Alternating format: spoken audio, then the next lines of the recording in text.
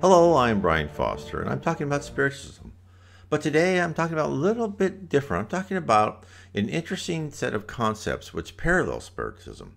I was listening to a YouTube video by Majic Eyes Only. I'll have the link in the description below.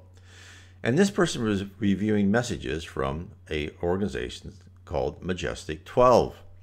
Now, what I read about that is they say that many people say it was formed by President Truman to investigate and recover technology from alien spacecraft. But then they also state that any information about being created by the U.S. government is false. Therefore, make what you wish of the Majestic 12 organization. I found what they were presenting to be extremely interesting. They were revealing some major aspects of what Spiritism brought us in the 1850s. Now, they may be channeling from aliens, in which case their knowledge of the divine laws is easily explainable. Any advanced civilization will know of the spirit realm and their relationship to the physical realm. This does not signify that they are all benevolent and compassionate. Some may know, but do not follow the path to the light. I have attempted to not reference any political or personal references to people in my discussion about this video. Hence, fasten your on your credibility detector and let's dive into some of Majestic 12's statements. So here's one group. One day you may learn that your way is not the only way. The very young do not always do as they are told. Perception is power. Ability to control one's perceptions allows you to escape from the matrix. How you perceive has been chemically and psychologically conditioned within humans for 6,000 years. Every seven years, your body is replenished.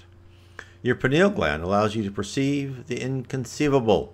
Your pineal gland is like a lens into your own brain, and the vision you experience is placing a spotlight on a single neuron because it is so clear it takes a long time to realize.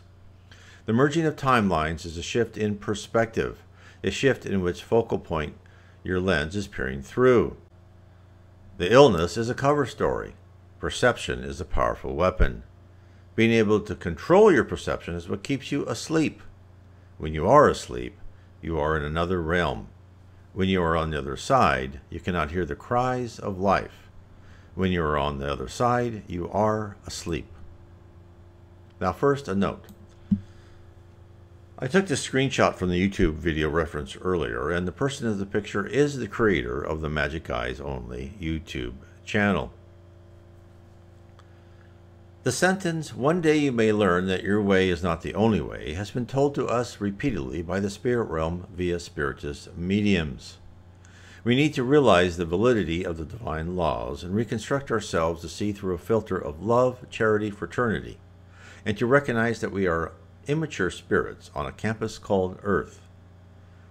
The next key point is ability to control one's perception allows you to escape from the matrix. Again, this encourages us to search for the truth of our environment. Spiritism explains that we are on and in an artificial construct. The purpose of Earth is to provide a location where we shall travel through custom made episodes designed to alter our character and personality. Realization of this fact should change everything for the common person. Your pineal gland allows you to conceive the inconceivable. Spiritism has stated that the pineal gland is the doorway for spirit communications. Mediums have large and developed pineal glands.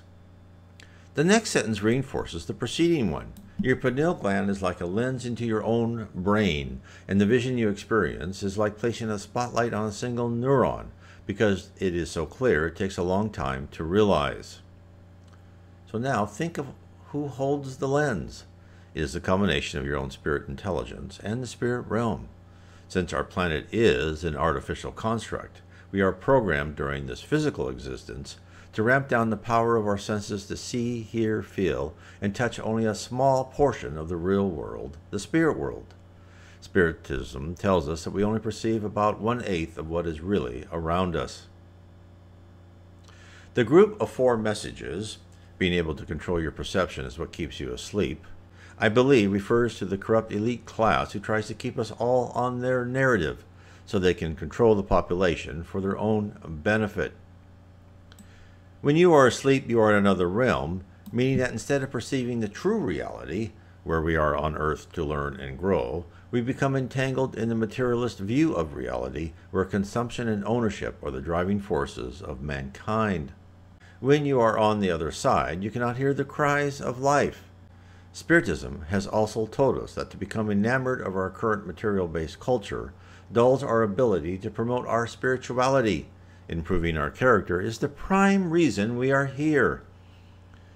When you are on the other side, you are asleep. Hence, the lower spirit inspired Cabal desires us to forget our quest for spiritual pureness. Ignorant spirits fully realize that by retarding the collective spiritual growth and raising our planet's vibrations, they delay the time when the Earth will become a planet of regeneration, meaning the spirits who have not determined to follow the path to the light will be sent to other, less advanced planets. The next group is mainly a repeat from the previous screenshot. The illness is a cover story. Perception is a powerful weapon. Being able to control your perception is what keeps you asleep. When you are asleep, you are in another realm. When you are in the other side, you cannot hear the cries of life. When you are on the other side, you are asleep. When you are asleep, you lack perception of your surroundings. Not being able to see or understand your surroundings makes you test positive for the illness. You are watching a movie. The highlight I wish to take from this statement not being able to see or understand your surroundings makes you test positive. The spirit world cautions us against fear, fear that has been imposed by the MSM, the mainstream media.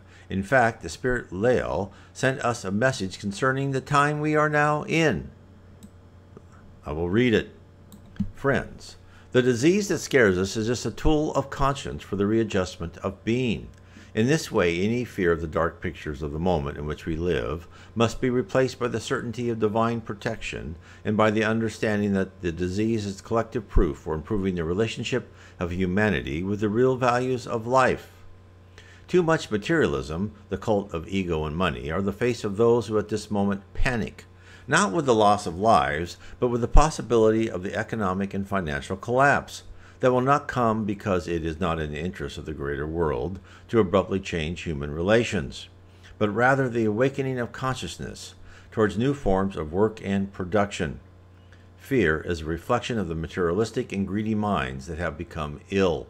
Do not fear outbreaks or disease. Seek firstly vigilance and understanding over the means of contagion, and remember the serenity within yourself that soothes and sustains.